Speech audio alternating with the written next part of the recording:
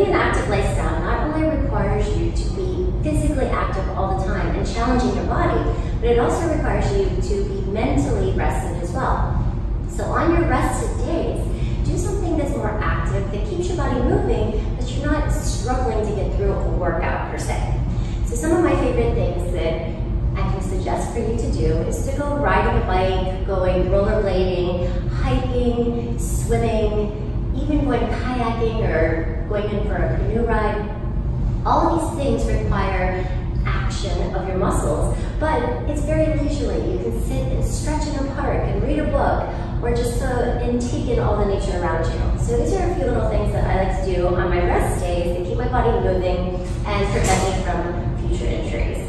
The other thing I'd like to share with you are some of my favorite stretches that you can do off of your total gym and then relate them to your total gym that you can do as well. So some of my favorite stretches look like this. So you'll take your legs wide, you bring your arms out to the side, your toes are parallel and slightly faced in. Reach your arms up overhead, interlock your fingers, arch back and open up your chest. And then dive forward, pushing your hips back so that your legs are straight.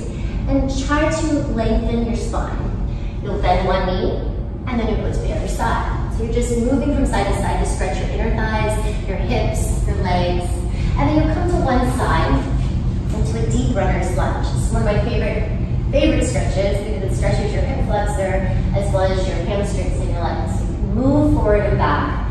I like to place one hand down on the floor and the other my knee so I can lean away. This just gives you a different angle of the stretch. And that's too intense, you just drop the knee and you get deeper into the stretch and lean back. I like to roll my arm around to feel the stretch into my shoulder. And then you can shift back. So all these stretches can sequence together just by moving in different angles.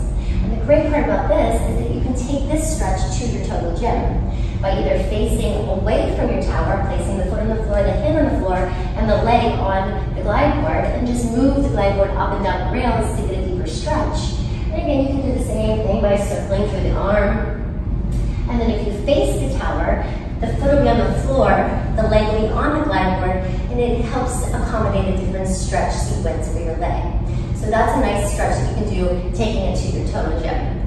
Another stretch you can do is turn to the side. You'll stay, one leg is bent, the other leg is straight. And this just pushes your hip back so you can feel the inner thigh stretch. And again, you can just rotate out and then hold. And again, you can open up your arms, get a deeper stretch. And this is another one you can take to the total gym by placing the straight leg on the glide board so it can ride up and down the rails and the other leg on the floor. So you can kind of monitor how much range of motion you go by the glide board moving. Now, another thing that I absolutely love and highly suggest is using a foam roller. So you can take the foam roller, and some of my favorite foam roller stretches look like this. You'll place it on the bottom part of your knee, right where the shin is, hands come to the floor, and you'll just roll forward and back so that you feel the stretch into the front of your, your shins. So this helps, you know, if you walk a lot, if you're sitting a lot, it facilitates the skin, circulates the blood flow. It just really helps your legs feel lighter. And you can take the foam roller to the tops of the knees, drop down to your forearms, and you can roll forward and back.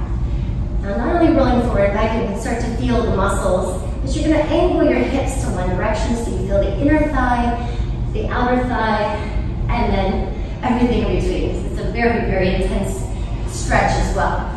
So you then want to rock your hips from side to side and then move the foam roller up and back.